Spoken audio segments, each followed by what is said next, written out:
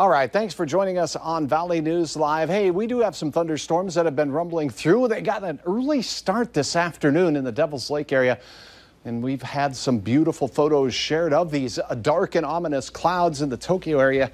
Keanu, thanks for uploading the storm clouds as they move through your area. Take a look at this picturesque scene as the Hillsboro area saw storms pushing in dark clouds as we hear rumbles of thunder over the studios here in South Fargo at this time. So the storms really fired off and moved through the Devil's Lake Basin and the Highway 200 corridor, seeing a lot of rain and some pretty stout thunderstorm activity.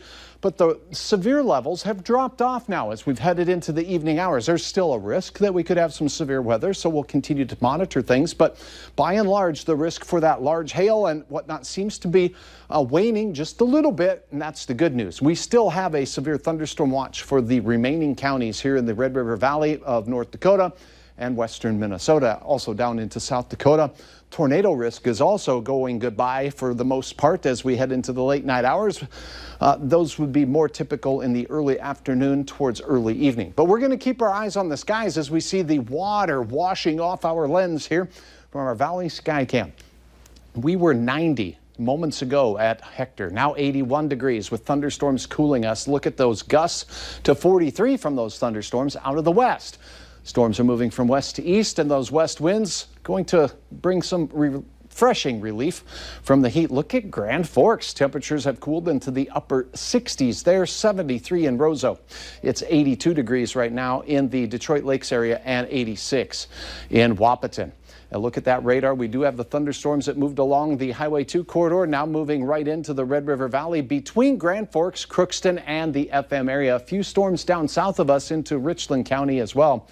And then out to the west, we see the clearing line taking place in our western counties. Zooming in a little bit closer, Ada, you have a line of storms making its way through. It's these two storms here, the one moving into Ada and the one that's crossing over Hillsboro, the second wave for you now. Uh, those two storms are the most organized and have a history of some severe warnings. We did get some hail reports, uh, upwards of ping pong ball size hail from those, and wind gusts to 61 miles per hour as they move through. But they have substantially weakened. North of those two storms, it's garden variety thunderstorms in Thief River Falls. Uh, the risk for severe uh, not present up to the north. That includes Grand Forks, that includes Crookston and out towards Fosston as well. Now, these storms moving eastbound at about 25 miles per hour will continue to see that threat move now into our western Minnesota counties. As we look into Fargo, the heaviest of the rain, South Fargo, South Moorhead, down towards Kindred, and uh, Leonard starting to see things clear up. And again, Richland County seeing the activity. So this batch of clouds that's moving through the FM area in Moorhead right now will be on towards Glyndon by 527 and Barnesville by 557 as it's moving off to the east at that clip. Now, this storm here, look at that outflow from it. Pretty interesting feature there, and you see this light green shade, the cool air blowing out the back of the storm. It's a, called a gust front. We can oftentimes see some scary looking clouds form along that leading edge. Western Polk County, just garden variety thunder showers for you. Big picture, more storms in South Dakota, and your hour by hour forecast shows that as we get through the late evening, this thing really is done. We could see some remnant thunder shower activity as we go into the overnight hours, particularly in eastern South Dakota, according to our model here. So uh, those look like they could be stout and heavy rainers, but temperatures for most of us will dip down into those 60s as we go through the overnight hours.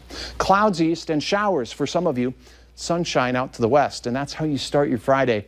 And then heading through the rest of the day, it won't be as warm. We'll have a northerly flow. It'll be pretty light, and all in all, things are looking high and dry for our Friday, only not as high as today's 90 degrees in the FM area.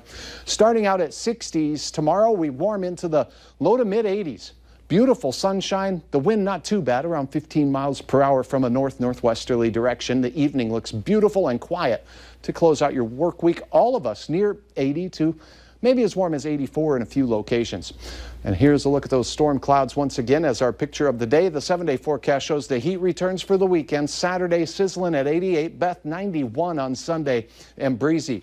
In the heat of next week, as we see temperatures near 90 degrees for the first couple of days, we could see some scattered strong storms. We'll keep our eyes on those as well.